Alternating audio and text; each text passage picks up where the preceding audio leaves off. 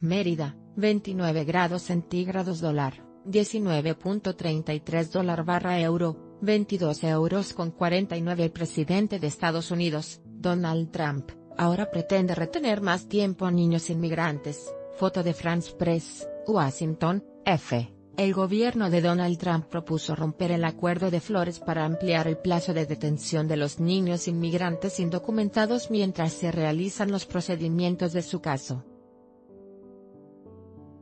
La propuesta del Ejecutivo, divulgada hoy en un comunicado, implicaría acabar con el límite de 20 días acordado en 1997 como tiempo máximo permitido a las autoridades para mantener privados de libertad a los niños que entran al país de forma irregular. La decisión busca responder a los problemas que afronta la Administración Federal debido a las polémicas políticas de tolerancia cero. Esas políticas propiciaron la separación de familias inmigrantes en la frontera sur del país, Top.